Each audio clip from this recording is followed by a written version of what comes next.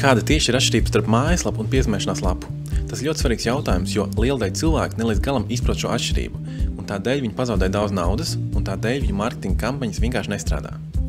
Ja tu veido mājaslapu, tās mērķis ir konkrēts – informēt cilvēkus par to, kas tu esi – kas ir tavs uzņēmums, kādi ir tavi piedāvājumi, kādas ir atsauksmes klient, no, no klientiem par tevi, kāda ir tava kontakta informācija, lai tev varētu sazināties, kādas ir tavu uzņēmuma aktualitātes. Mājaslapas mērķis ir radīt informētu tēlu par to, kas tu esi, lai klients varētu tev uzticēties. Mājaslapas mērķis ir būt atrodamam, un tas mērķis ir parādīt, ka tu esi uzticama persona, ar kuru būtu vērts sadarboties. Piezemēšanās lapas mērķis ir pavisam cits. Tās mērķis ir pārdot konkrētu lietu. Tad, ja tu esi nonācis piezemēšanās lapā, visdrīzāk tev jau ir bijusi interese par kaut ko, kas tika prezentēts, un šajā brīdī tev ir jāredz informācija tikai un vienīgi par to konkrēto piedāvājumu, un tev jābūt skaidri redzamam šim call to action vai aicinājumam uz, aicinājumam uz rīcību, un tādā veidā cilvēks tiek konkrēti ar tiešu ceļu novirzīts to, kas viņam ir jādara. Tad, ja tu cilvēku no Facebook reklāmas sūtīsi uz mājaslapu, ir ļoti liela iespēja, ka viņš kaut kur apmaldīsies, ka viņš nospiedīs uz linkiem par mums, ka viņš sāks skatīties kaut kādas sadaļas, kaut kādas rakstus, un beigās viņš aizmirsīs, kāpēc viņš šeit ienāca iekšā. Viņš var ļoti viegli aiz, aiz, aiziet projām no šīs mājaslapas, un būtībā tur trūkst šī konkrēta, konkrētitāte, trūkst šī informācija, uz ko, pēc ko, viņš, kuras viņš tieši ir atnācis.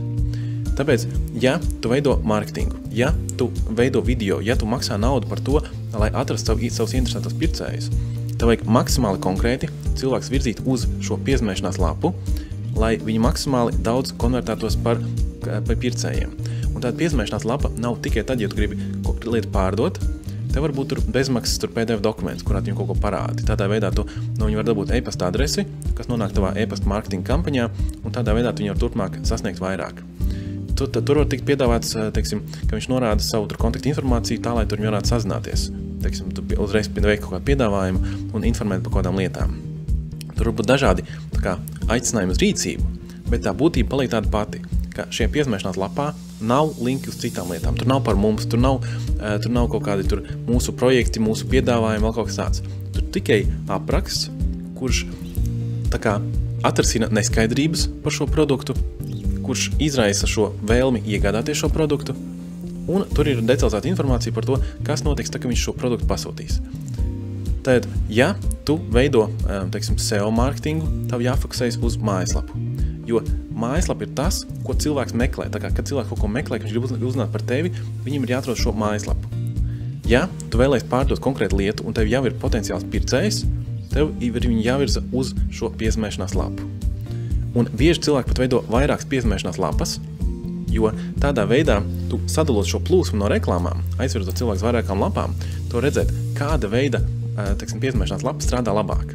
Ja tu visu plūsmu vienveidīgi sadali, un tu redzēsi, kurš, kur, kurā lapā vairāk konvertējas, tad brīdī, kad tu gribēsi, teiksim, desmit reizes palielināt šo mārketinga budžetu, tu varēsi virzīt tieši uz to lapu, kurā šī konversija bija vislielākā. Tāpat arī, ja tev ir vairākas auditorijas, teiksim, jaunāki cilvēki, vecāki cilvēki, vai arī vairāk tehniskāki cilvēki, vairāk mākslinieki. Un tu, tu esi atlasījis šos vairākās auditorijas, izmantojot reklāmas Facebookā.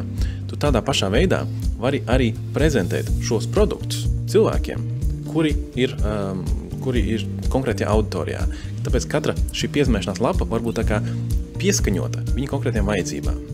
Un tā ir ļoti svarīga lieta arī, teiksim, um, ja tu reklamē cilvēkiem, kuriem ir, kuriem ir vairāk naudas vai mazāk naudas, dažādi finansiāli stāvokļi, dažādi mērķi vispār, tad tajā brīdī, kad tu reklamē cilvēkam, kuram teiksim, mazāk finansiālas iespējas, tu vari īpaši izcelt to, ka tas ir lēts produkts salīdzinot ar citiem un ka tas dos maksimālu efektivitāti tādā veidā. Savukārt cilvēkam, kuram vairāk interesē kvalitāte, tu vari no, no, noprezentēt, kādu tieši vērtību viņš no tā dabūs, un um, kāpēc ir vērts par to maksāt. Tas arī viss ceru, ka bija noderīgi. Un ko tu lieto vairāk - mājaslapas vai piezemēšanās lapas? Uzrakst komentārā, un es priecāšos to izlasīt. Ja būs kādi jautājumi, protams, atbildēšu. Ja patīk šis video, spied like, sakošam kanālam, un drīzumā būs jauni mārketinga padomi.